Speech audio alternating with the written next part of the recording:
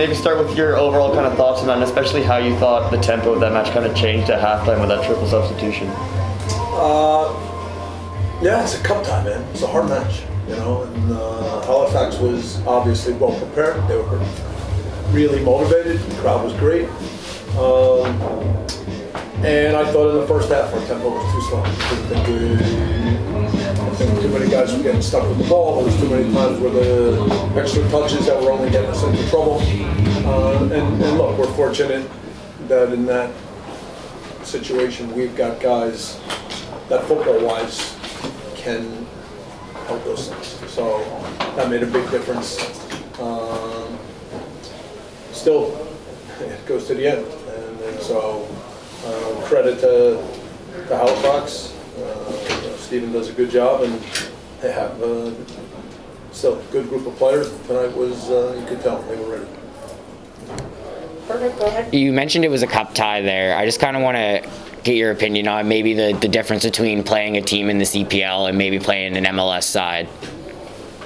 Yeah, in every every place I've been,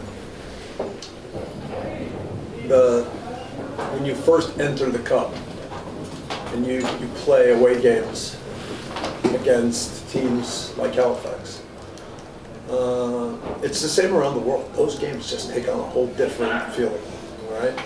You have got to be at your best. You've got to be sharp, um, and oftentimes, if you're just a little bit off in certain moments, the other team starts to believe and they hang in there, and then the game becomes a real fight. That's that's what tonight is is all about. It's it's, it's like cup matches that I've seen in a lot of different places.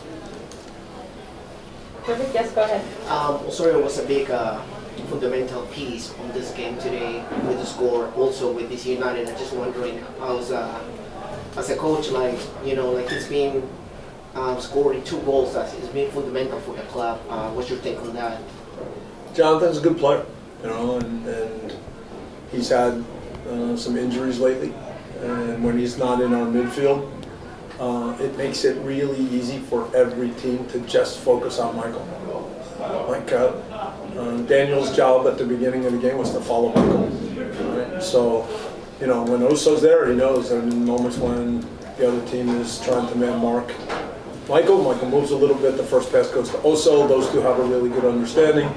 Uh, and then Oso also has incredible timing to move forward and get into the box. So for us, he's he's a really important player.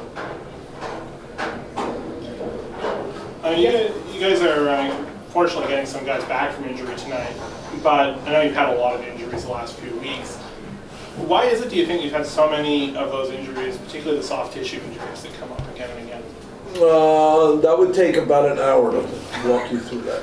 Um, they're all different kinds. Um, there's there's soft tissue of guys that weren't playing that much. Um, uh, I we look hard at our training loads. You know, we would like to continue trying to be a team that presses a little bit more and plays at a little higher tempo.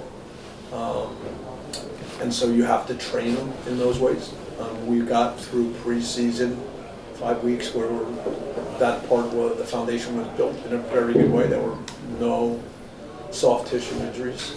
Uh, and then we've had some since. Um, and, and they're all different, they're all strange.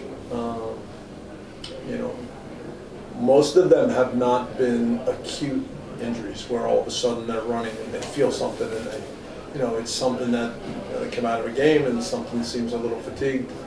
So yeah, we look hard at all that. Um, I'm not, I'm not sure. Uh, you know, there are times when I know that other teams in the world uh, are in the process of trying to change the way they play, and then in those early days, um, maybe because the game model and training is is different, some of that takes time. So yeah, it's, it's, it's stuff that we work with our performance staff and our medical staff to see if we can keep trying to uh, find answers and, and, better ways to do things.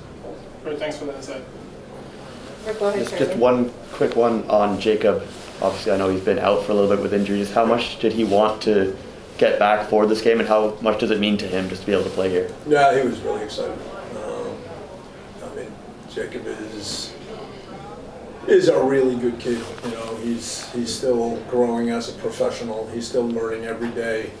But I think anybody who has spent time around him knows that he's he's a lot of he's a really good guy. You know, and, and so uh, it meant a lot for him growing up around here to come and play. And yeah, he came on and, and helped us. So I was happy for him. Thank you, and now we'll go to the Zoom participants, and we'll open it up to John Molinaro for our final question. Thanks. Uh, Bob, just wanted to follow up on Charlie's question just there about Jacob. Um, you know, maybe you just give a more, uh, more of a, an evaluation of his performance on the. I think he made a really smart play.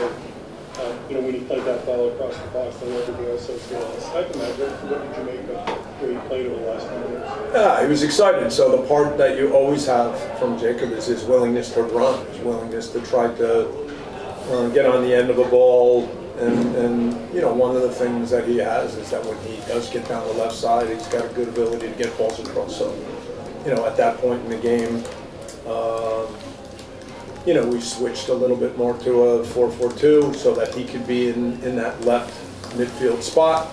Uh, Jayden pushed out a little wider on the right, and then obviously uh, Jesus played around or underneath Ayo. So we thought that that was a good way to finish the game, and part of it was just we thought it put Jacob in the best possible situation to make a play like the one he made. Perfect, thank you very much. Uh, That will conclude this portion of the press conference. Thank Thank you. you.